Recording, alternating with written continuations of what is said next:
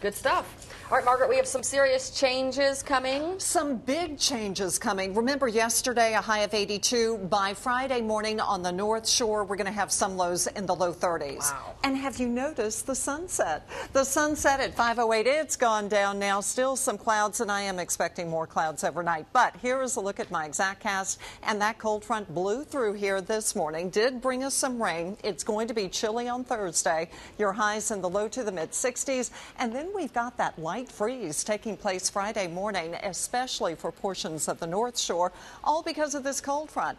It's heading to the east, it's taking the rain with it, but Look at this. We do have a lot of cloudiness. We've got some showers as well in Texas. That's moving to the northeast.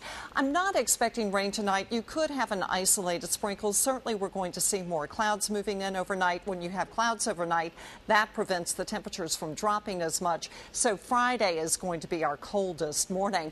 Meanwhile, check out Sean. Sean's getting good looking, isn't it? I mean, it's developing an eye and eye wall. It is forecast to become a hurricane. The maximum sustained winds right now, right there at 65 miles per hour, eventually moving to the northeast. It could impact Bermuda.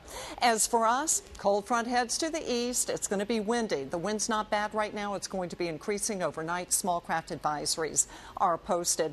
There is a look at that cloudiness that kind of lingers into the morning. Then we clear out in the afternoon, Friday morning. Look at what happens happens. High pressure builds in, clear skies, light winds.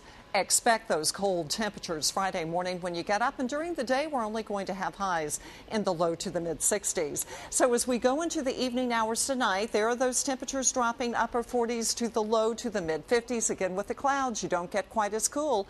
And then those temperatures are going to pop into the low 60s tomorrow. But look at this your morning lows tomorrow, or rather Friday morning, 32 for Slidell, Covington, also into Picayune and Poplarville, so it's going to be really cold. For Veterans Day, though, what a beautiful day it's going to be. Your high temperatures are going to be climbing into the mid 60s, cold in the morning, then plenty of sunshine. So, my exact cast there you can see looking good as we go into your Thursday, Friday, Saturday, and then we warm up a bit going into Sunday and Monday. Roller coaster ride. Yeah, I was, was going to say, that roller coaster continues. All right.